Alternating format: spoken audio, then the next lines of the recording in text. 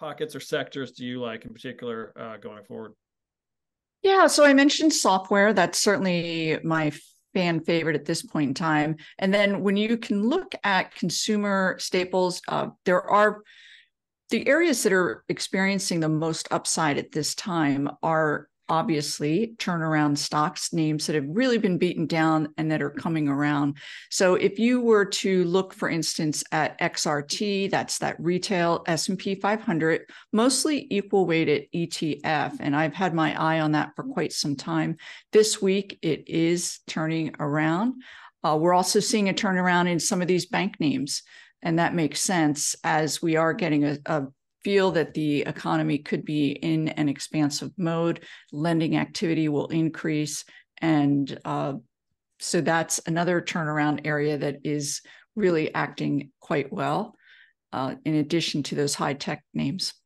And I think you you uh, have your eye on emerging markets, certain emerging markets now too. Is that right? Yes, absolutely. And there again, it is all about underlying growth within their economy. So if you look, for instance, at India, India has a Nifty 50, but you can participate. There's an ETF INDA, and if you were to look at that, you'll see it's already had a significant advance, but the growth backdrop is there to propel it even higher.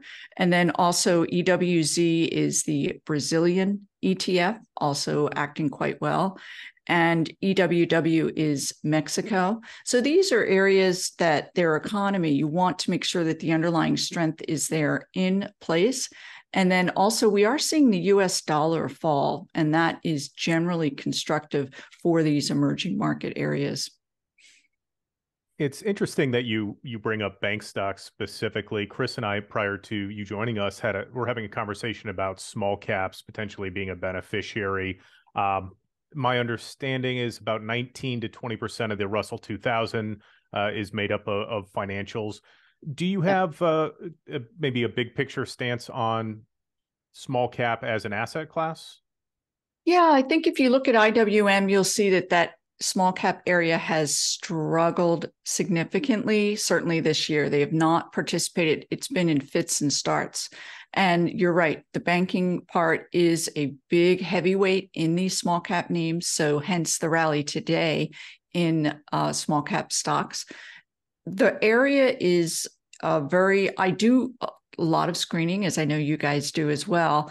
And in my screening, uh, I do still work with a couple of hedge funds. One of them is a small cap hedge fund. So I'll see areas come into play, for instance, medical products, IHI, and I'll think, oh, I can pick up some real juicy small cap names. But they're not really participating. They have not reversed that downtrend. And for me, it's going to need to see a move above those moving averages to support a continuation move. So I believe we are in the early stages. It's great to see small caps coming on, and I'm going to continue to screen that area.